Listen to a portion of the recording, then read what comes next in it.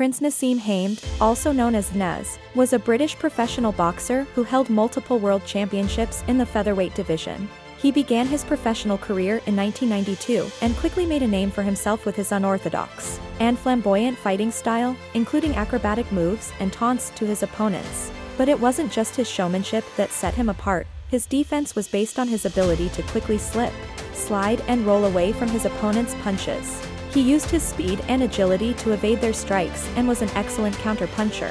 He was considered one of the best featherweight boxers of his time. He had 36 wins and one loss before retiring in 2002.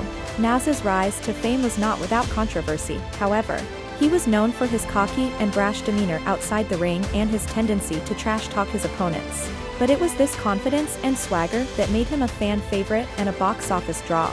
His unique style and charisma made him one of the most exciting fighters to watch in the 1990s. He fought in some of the biggest venues in the world, including Madison Square Garden and Wembley Stadium, but despite his success in the ring, Prince Naseem Hamed's career was not without setbacks. In 2001, he was involved in a serious car accident and was forced to take a break from boxing.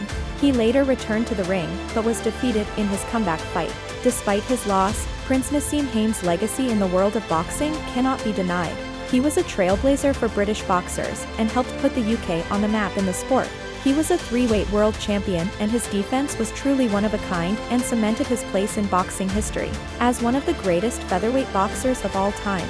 His unique fighting style, charisma and swagger made him a fan favorite and a box office draw, and he will forever be remembered as a legend of the sport.